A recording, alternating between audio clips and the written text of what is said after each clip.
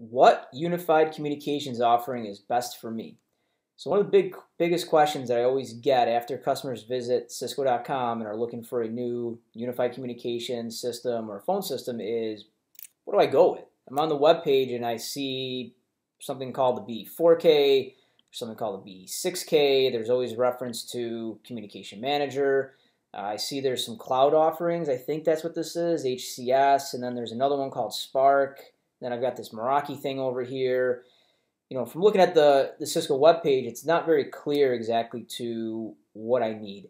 So in this video here, I'm going to go over what these different offerings are and what makes sense for most businesses. So I tried to streamline a little bit here, all those different offerings that we saw on the last page, and I've broken this down into a couple couple categories here.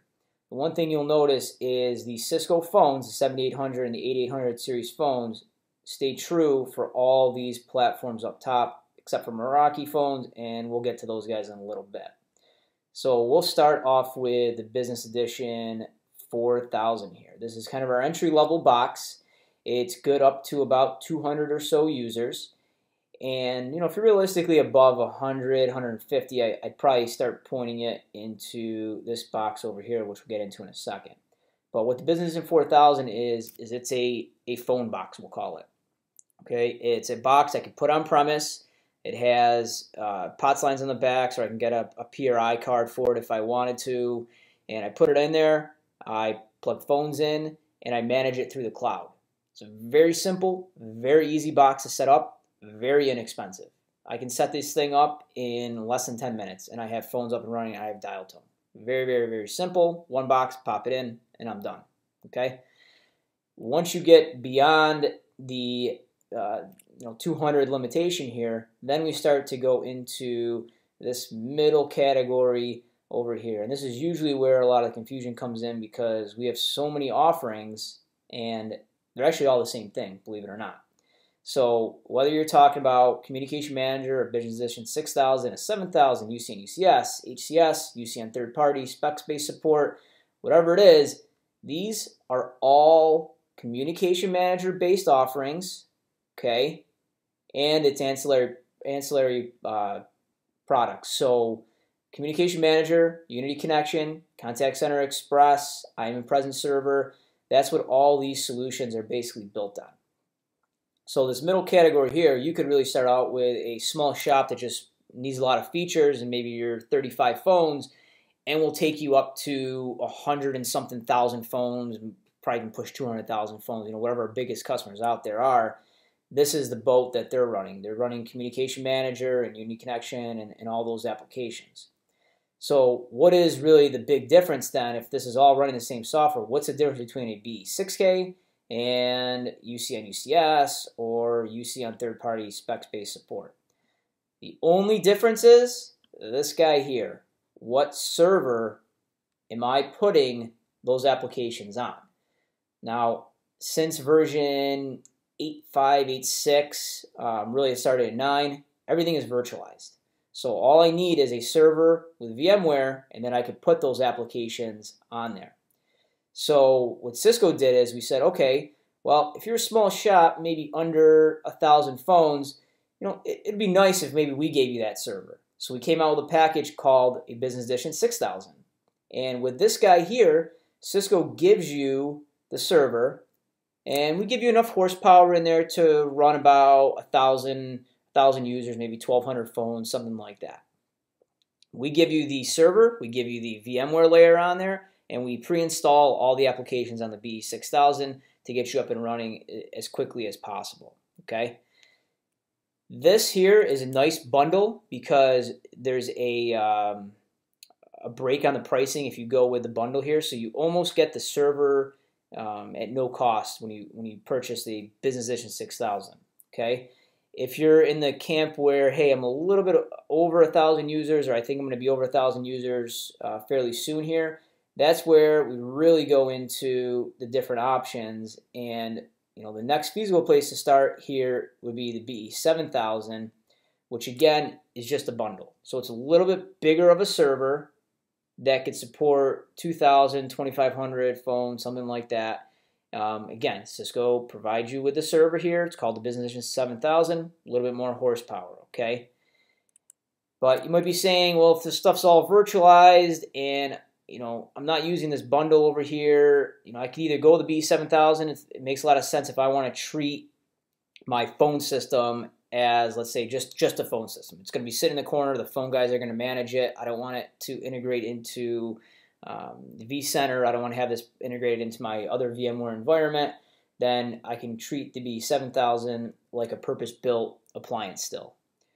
Or maybe you're one of those customers that says, hey, you know, I, I get it. It's virtualized. I have all this other hardware that's already there. I don't need a Cisco server per se, or maybe I already have a UCS server. Well, if you already have a UCS server, you know, sometimes there's not really a reason to sell you a 7000. We'll just sell you the applications and you put that on your own UCS server. And we call that UC on UCS. So you're putting the Cisco applications that we sell you you get your own VMware license and you put it on uh, your own UCS servers. That's what UC and UCS is.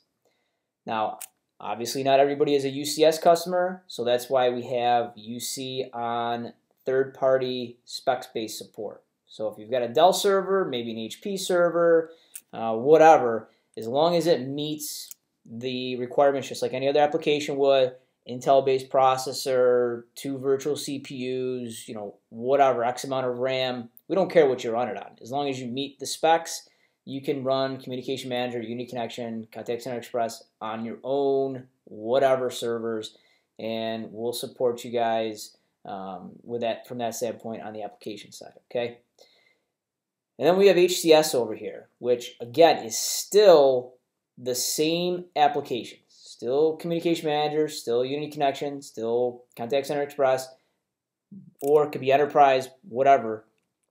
Um, but you don't want to put it on your servers. You'd rather somebody else host it for you. So HCS is an offering that our partners have that they will host these applications for you on their servers in their data centers. It's a complete cloud offering. You'd obviously still have phones on premise, and you might have gateways for PRI or PSTN access, but the servers and all the applications and all the backup and everything like that is taken care of for you from our partners, and that's what H- HCS is. Then we'll move into Spark over here. So I've done a bunch of different videos on registering phones to Spark and what Spark looks like today, but this is a new offering from Cisco, and this is Cisco hosting your phone system. So it's not through a partner. You still purchase it through a partner, but it's actually Cisco's cloud. And there's three components to this: messaging, meeting, and calling. Okay, and this is not communication manager. So it's not going to have all the little bells and whistles and features that everything in this camp over here is going to have. It's going to be a little bit more of a, a simpler phone system, very simple, very easy to set up here you can get it going in you know five minutes if you wanted to because it's all cloud based. Cisco takes care of your PSTN access with Spark as well. So you pay us, and we usually go through IntelePeer. We've got other providers coming online as well. You put the phone in. You don't have to have a gateway or anything on premise. Just the phone plugs into the internet, and Cisco kind of takes care of everything for you guys. Okay. This uh, today doesn't have the as much feature richness like with contact center and skills-based routing things like that. A lot of that stuff will be coming, but this is a new offering from Cisco, so it's still still in its in its um, I won't call it infancy. Uh, it's probably in its toddler phase at this point right here. Really good, um, great for small, medium-sized businesses, 200 phones, 300 phones, whatever. Um, Spark's a great offering for that. And again, uses all the same phones. So if you start out with Spark and you say, hey, we really need some of these advanced features, you could always go back to this camp over here, keep your same phones. No big deal. And then the last one we'll talk about over here is Meraki. Okay. So Meraki inside of Cisco wanted to come out with their own phone product because they wanted it all to integrate into their dashboard. So if you're a Meraki shop, You'll have your single dashboard for your switches, your access points, your MX security boxes, your security cameras if you wanted to. They've got the new security cameras out there too, and their phone. Now, the one thing to mention here is their phone is not the same as normal Cisco phones, okay? These are not compatible as of today. So, you know, I'd have to go out, purchase this phone here, um, and tie it into my Meraki subscription. And they, again, will take care of your PSTN access for you as well. But it is a different phone. It's a different system that's, that's kind of tied in here. So really good if you're full Meraki shop. Hey, I get to manage everything through one dashboard. Makes it really easy. And you know, just to recap, be 4,200 users and below.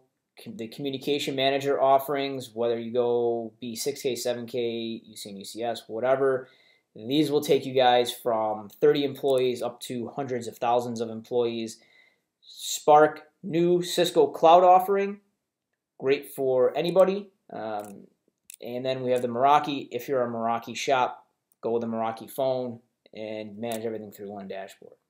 So hopefully this cleared things up. Um, love to hear from you guys in the comments. And if you have any other questions, I can answer them in there. Thanks a lot.